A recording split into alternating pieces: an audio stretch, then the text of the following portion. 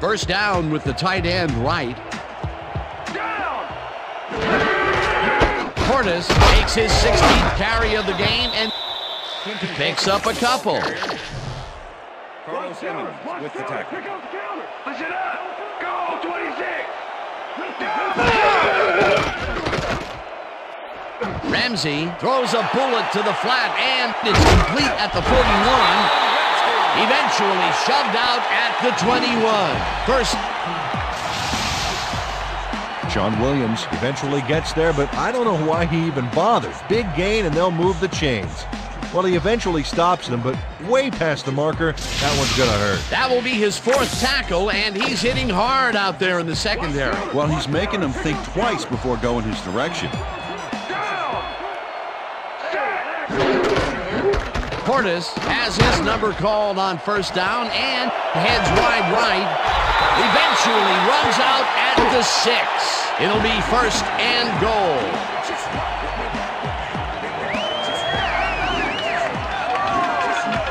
Clinton Portis works it to the outside and gets a huge gain. That's a great play, great execution. Let's have another look. Yep, got past the marker and eventually runs out of bounds. What a run, and he is generating some great numbers. Oh, yeah, he's running hard. And up to now, he's got 110 yards on 17 carries. What are the numbers generated on the ground? That is impressive. Ramsey ropes this one to the end zone, and it's caught for a touchdown. I'm bringing it, yeah. Told you. Patrick Ramsey Makes a terrific completion in double coverage here. Wow, now that is one confident QB. Peter, that's his first touchdown pass of the game. How do his stats look? Well, so far, he's got 81 yards and one touchdown.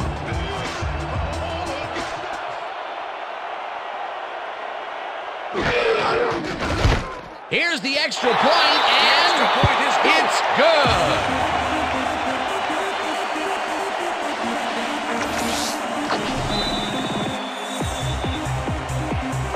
There's the signal, and we're ready. Paul kicks it off. Joyce catches it back at the six. Stopped at the 25. Well, Peter, some interesting information up on the screen. Oh, you bet. Look at the drive results, and you can see that they're getting it done and have punched the ball into the end zone. Nice work so far. Delvin Joyce got waylaid by the defense before he was able to put Munch on the run back.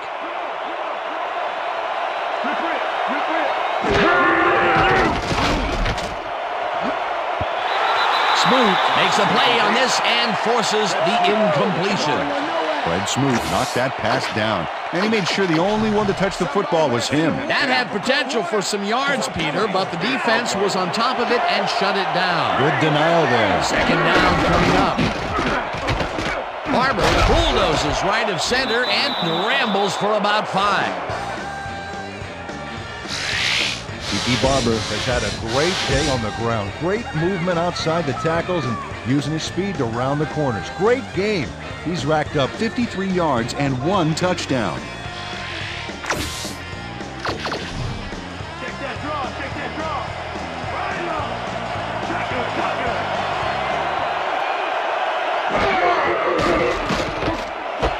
Shockey catches it over the middle and they convert on third down. First down from the eye. Down. Warner zings it to the right side and the reception. Kurt Warner gambles big time on this play, and it works. Makes it a little more exciting to watch, too. Oh, if he wasn't accurate on this throw, it would have been an interception. It's a real fine line. Nice pass, Peter, and he's really lighting up the stat sheet. Oh, you got it. So far, he's got 192 yards and two touchdowns. Springs hammers the receiver and forces him to drop the ball incomplete. Kurt Warner is showing off some precision passing out there, Dan. Clear. Let me see Second and 10. Rip, rip, rip. 49 yards. Rip, rip. Down. Barber picks up a yard on the play, and that will bring up third down. Third down from the shotgun.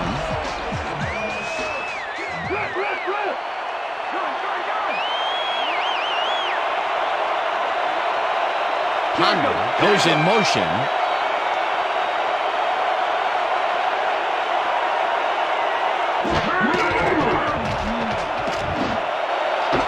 Intercepted. Tackled at the 42. Coming down. Oh, coming down. Three, six, seven, Sean Taylor does a nice job picking off the pass there. He's got it, and he gets a little more with that nice little run back. Boy, that was a heads-up play to come away with his first interception of the game. Yeah, you got to love D like that. The Redskins offense takes the field with time winding down. They'll start at their 42-yard line. Portis carries it off the toss and takes it upfield. Impressive yards in the ground here. Check it out. Boy, that's some nice running. It's all about field vision. And if you can see where you have room to roam, good things happen. What a run, Peter, and his numbers are adding up. Adding up to one big number. Up to now, he's got 122 yards on 18 carries. Green gets the sack way back at the 48. Second down and four wideouts in the game.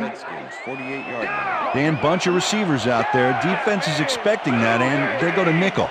Gardner goes in motion.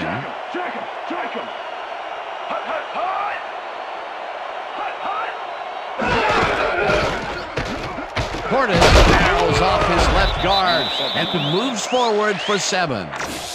Cory Raymer used every ounce of his big self to do some key blocking on that last play. They got some, but they'll need more than that if they want to convert on this third down. Yeah, they have a ways to go, Dan. They would have loved a few more yards out of that play.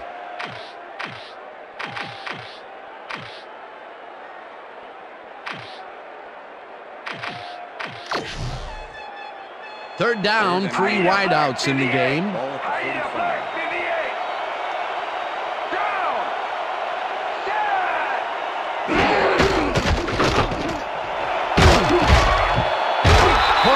Picks up 11 on the play, and the clock will continue to run.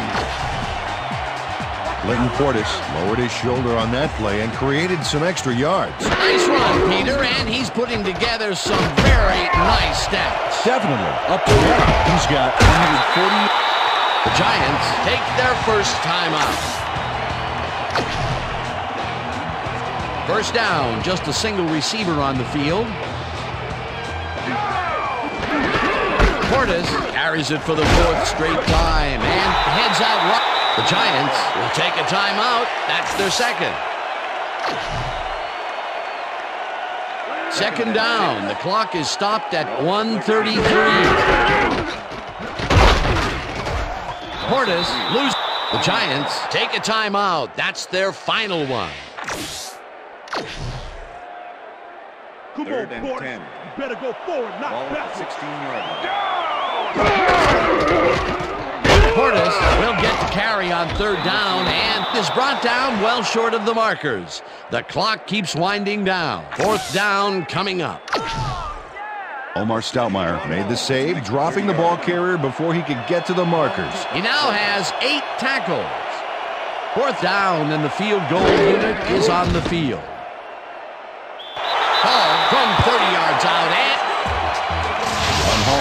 Little trouble pooching this one through. Let's see it again. Yep, he knows that you aren't allowed to miss many of those in this league. late in the game and they take the lead. That was a very big field goal. As big as they come, Dan. The ref gets the signal, and we're set. Hall rockets this one deep.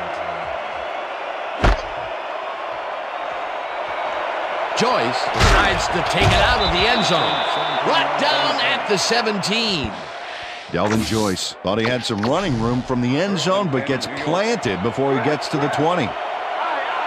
The Giants will start this drive deep in their own territory with the clock at 101. Warner throws a heater, and it's tipped incomplete. Shawn Springs. Shawn Springs came in and got a hand on that football and left no chance for a reception there. That is their fourth batted ball. Tell you, we've seen a number of good defensive plays from this squad. We sure have. We'll see if they can keep it up, though. Second down, one man back. Hilliard makes the catch out to the left and down. He's got the first. The clock continues to tick down. Down. Set. Laser. Laser. Warner tips it to the left sideline, and the ball's loose. The Redskins have it. And he stopped right there. Yeah, man. That's what I'm talking about. Yeah.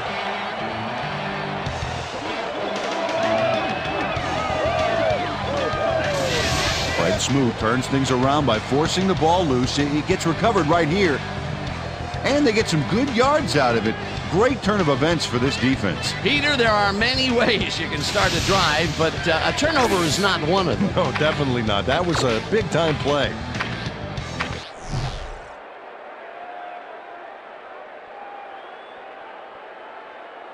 Judging whether the player had possession prior to the fumble. All right, what have you got? Okay, all right.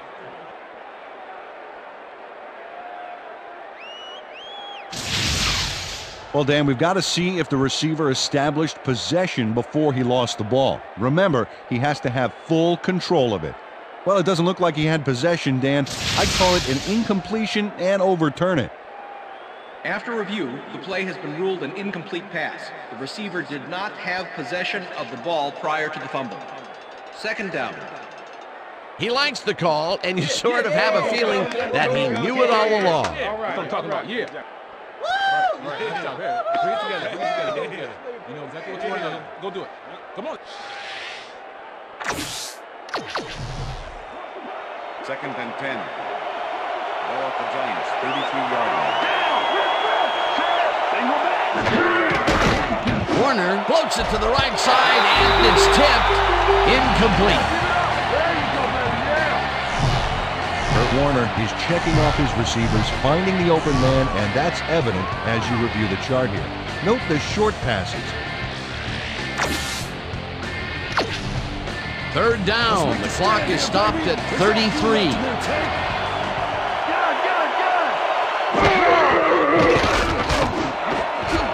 It's intercepted. Tackled at the 40. Face mask. Number 21. Five-yard penalty from the spot of the foul. Tiki First Barber down. held the face mask back there, but it was kind of iffy. That's a five-yard penalty and a right call.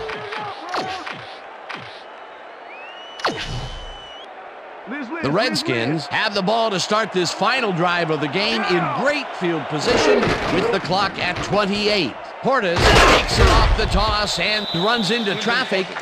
Clinton Portis used the blocking, but this stingy defense didn't give up much at all on that last play. Not much there. It'll be second down. Got to take what you can get, Dan, but they were hoping for more. Well, this is where the offense goes in slow motion. No hurry to start the play. Use up as much time as possible. Williams tips it away on the coverage, incomplete. Sean Williams came in and got a hand on that football and left no chance for a reception there. Another batted ball, and they have been attacking the pass every chance they get. That's right, Dan. You know, why simply defend the pass when you can obliterate it? Third down, and they line up with three tight ends. Cartwright goes in motion. Portis gets the toss and runs into trap. The Redskins take their first time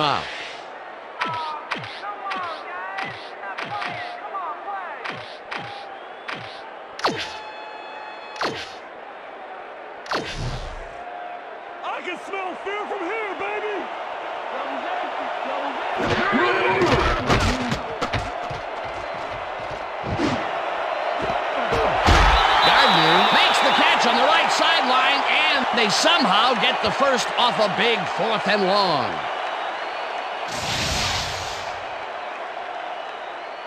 Patrick Ramsey throws right past the coverage. and into his receiver's hands. Nice throw. Peter, that conversion sealed the deal. This game is over. Oh, you got that right. Now they can sit on the ball, catch up on some fan mail, and maybe wait for the clock to run out.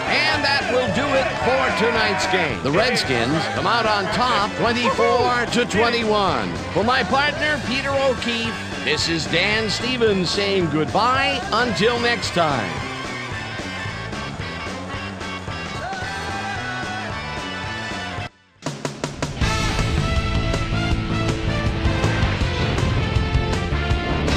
Okay, Dan, thank you very much. And let's welcome all of you back to the studio. I'm Chris Berman here to bring you our ESPN video games post game wrap up. The Redskins stepped it up for sure, putting up some good numbers. Let's get started in this one early in the third quarter. Clinton Portis on the carry here as they work the ground game. This is a nice run. A 30 yard touchdown for the Redskins. The Redskins again tie it up 14 all. The Giants trying to answer back. The Giants in control at the 35. Well dressed Amani Toomer ran a terrific route here and was able to pull this one in. A 34 yard touchdown for the Giants. The Skins answering right back. Skins trailing by seven. Clinton Portis would find an opening here and he was off. They tie it up again, 21 all.